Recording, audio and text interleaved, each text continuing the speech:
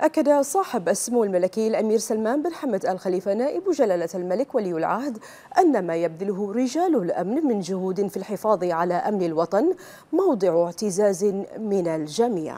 ونوه سموه بمسارات التطوير بوزارة الداخلية وأجهزتها المختلفة على الصعيد الأمني والمجتمعي بما يحقق أهداف المسيرة التنموية الشاملة بقيادة حضرة صاحب الجلالة الملك حمد بن عيسى آل خليفة ملك البلاد المعظم القائد الأعلى للقوات المسلحة حفظه الله ورعاه.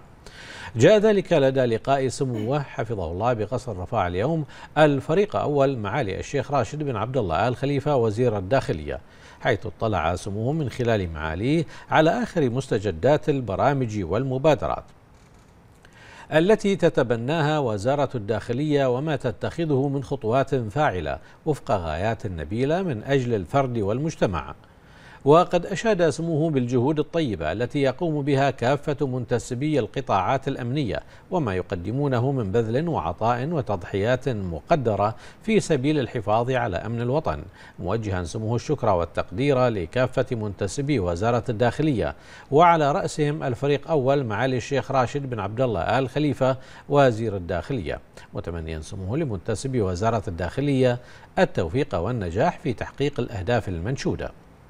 من جهته عبر معالي وزير الداخلية باسمه ونيابة عن منتسبي الوزارة عن بالغ الشكر والامتنان لصاحب السمو الملكي نائب جلالة الملك ولي العهد على ما تفضل به سموه من إشادة وتقدير للجهود المخلصة لرجال الأمن.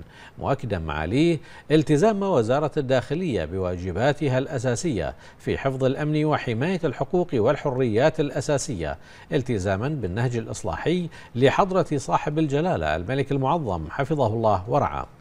لافتا إلى التعاون والتنسيق والتواصل الدائم مع المنظمات المحلية والدولية انطلاقا من منهجية مملكة البحرين القائمة على تعزيز الحقوق وحفظ الأمن والسلامة العامة.